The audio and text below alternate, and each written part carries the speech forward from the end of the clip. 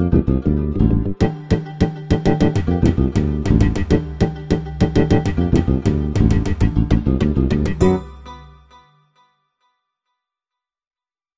Nel febbraio di quest'anno ha festeggiato il ventesimo anniversario della medaglia d'oro di Albertville e il decimo della memorabile vittoria di Salt Lake City. Stefania Belmondo, la fondista che più ha vinto fra tutte le atlete italiane nella disciplina dello sci nordico, è stata ospite del Panathlon Valle d'Aosta giovedì 31 maggio per raccontare la sua luminosa carriera sportiva e per ripercorrere con i ricordi le sue vittorie. E quella organizzata a Palazzo Regionale è stata anche un'occasione per ricordare l'emozione emozioni legate alla Valle d'Aosta. Siccome sono qui in Valle d'Aosta ci pensavo prima e, e, e immaginavo la vittoria dei Coppa del Mondo a Cogne, la vittoria di Brusson e mm, ricordo anche il mio mm, preparatore Massimo Loran che è qui ancora e tutto quanto e invece con un po' di tristezza, vabbè ricordo la, la bella vittoria della Transjurassienne in Coppa del Mondo ma lì c'era il mio grande skiman eh, Giuseppe Gontier che comunque ricordo con tanto affetto, purtroppo non c'è più però nei miei pensieri c'è sempre lui.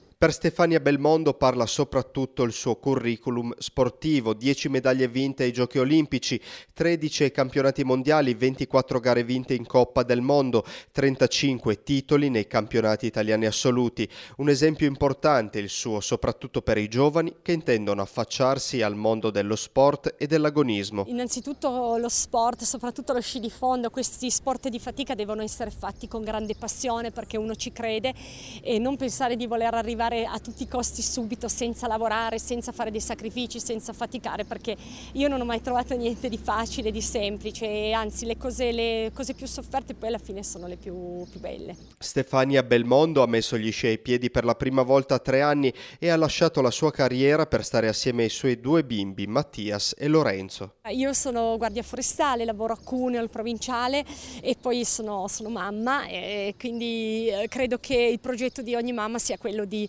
di cercare di allevare nel modo migliore i propri figli, cosa che secondo me è più difficile che vincere un'Olimpiade, però insomma ci, ci provo. A presentare l'incontro a Palazzo Regionale, oltre al presidente del Panathlon Valle d'Aosta Cesare Balbis, anche l'assessore regionale allo sport Aurelio Margheretta. Ma abbiamo bisogno di queste giornate, qua devo ringraziare veramente il Panathlon per questo